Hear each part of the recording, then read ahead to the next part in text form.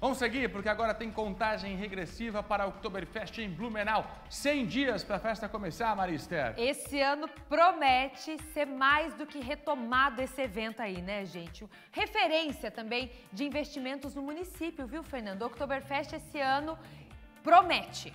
É turismo, rede hoteleira, enfim.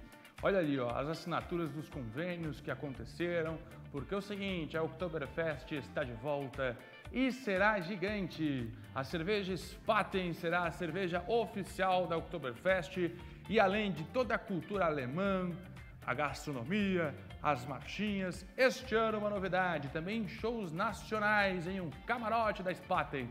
Bora pra lá? Quem está com a gente direto do palco desta festa é a nossa Suelen Skelsen. Ao vivo na Vila Germânica, onde acontece a festa. Suelen, eu já quero saber se você já garantiu o seu ingresso da Oktoberfest para este ano. Bom dia. Bom dia, Maria Esther. Ainda não garanti, mas com certeza a gente vai participar aqui de todas as edições, de todos os dias da festa. E que esse ano promete ser mais do que especial, né? Depois de dois anos de pandemia, tá todo mundo na expectativa aqui para a 37ª edição da Oktoberfest. Inclusive, na noite dessa terça-feira, além de ser anunciado o lançamento da festa, com várias atrações, do que terá de novidade na festa, também teve a divulgação de novos investimentos no turismo aqui da cidade. O secretário de Turismo, Marcelo Groio, conversou com a gente sobre esses investimentos e também sobre a expectativa da festa. Confira o que ele disse.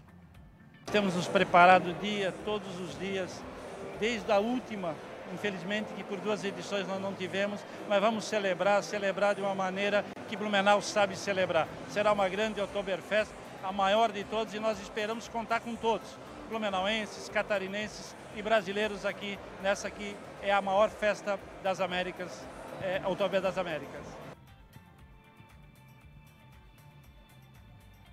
Além das equipes da Prefeitura, Secretaria de Turismo, também tiveram presentes autoridades. O governador do estado também esteve aqui em Blumenau, onde foi anunciado a ampliação e a revitalização do Parque Vila Germânica. Além da aquisição de dois terrenos aqui próximos à vila, os investimentos previstos de mais de 2 milhões de reais do estado e mais de 100 mil reais do município. Além disso, também foi anunciada a construção de um centro de convenções que vai ser construído aqui em frente ao Parque Vila Germânica, que também recebeu o nome do ex-secretário de Obras, Paulo França, que dedicou parte da sua vida aqui como servidor público de Blumenau.